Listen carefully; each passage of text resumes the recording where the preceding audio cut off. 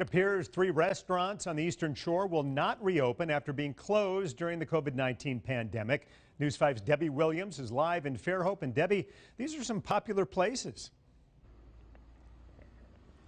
Yeah, so the restaurants all over the state have been open for about a week now. This one remains closed. The doors still locked. And it doesn't appear that they will be opening anytime soon. If you want to go to a Ruby Tuesday on the Eastern Shore, you just may be out of luck.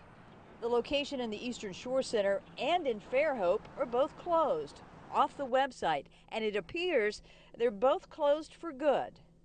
The notice on the door is the only explanation for former customers. This location closed.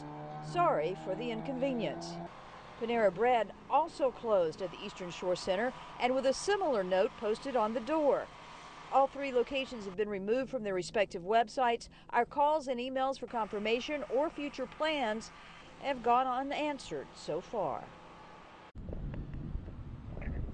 Now, Ruby Tuesday locations in Bay Minette and Foley remain open for dine-in and curbside service. The Panera Bread website, it, well, it directs you to the Panera Bread location on Schillinger Road in Mobile. Live on the Baldwin County Beat in Fairhope, Debbie Williams, WKRG News 5.